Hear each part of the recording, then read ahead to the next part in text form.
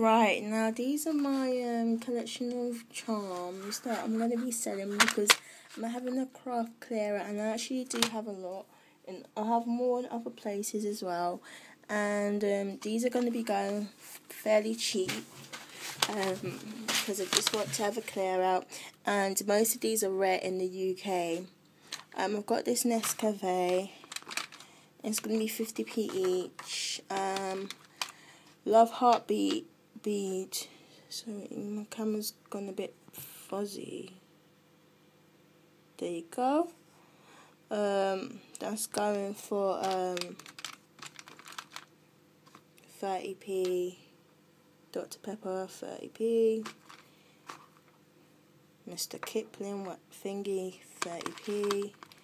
Got loads. Most of them are just going for 30p. 30p.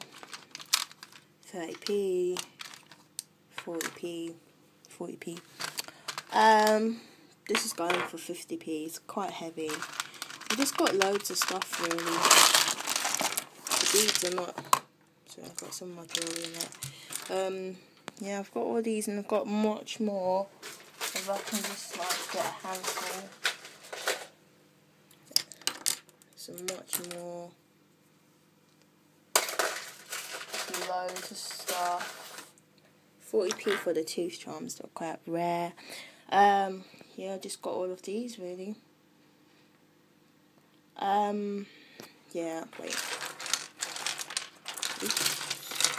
I'm gonna do another video of my um of my beads and if you do want to mix mix and match like get a gumball beads and charm mix that's fine I'm just gonna show you the beads video up. It's going to be up next. Bye.